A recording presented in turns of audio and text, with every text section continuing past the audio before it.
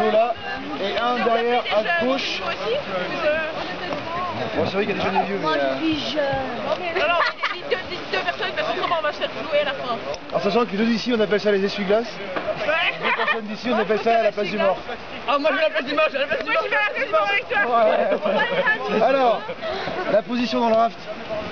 Toujours sur le boudin extérieur, d'accord On vient bien s'asseoir ici. Vous allez voir, c'est un parcours type, on appelle ça type escalier, ça fera toujours un plat, un rapide, un plat, un rapide, ainsi de suite. On est rapide, on se cale les pieds. Donc pour ceux qui seront ici, entre le boudin et le plancher, d'accord, comme ceci.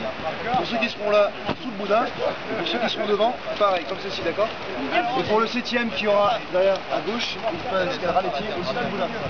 D'accord Alors, qu'est-ce qui cause les plus d'accidents en raft Les euh, gandouilles. les cailloux, exactement, c'est la pagaie. Pourquoi Si jamais on la tient comme un manche de pioche, vu qu'on a un équipage, si jamais ça vient taper le fond de la rivière ou un caillou, elle peut glisser dans la main, et hop, un gros celui qui est en face. Donc après, si vous avez des comptes à régler, profitez-en. Donc bien obligatoirement, bien la main sur le lit tout le long de la descente. Si jamais vous l'avez pas dessus, vous allez voir, c'est radical, je vous mets un coup de pied, je vous mets.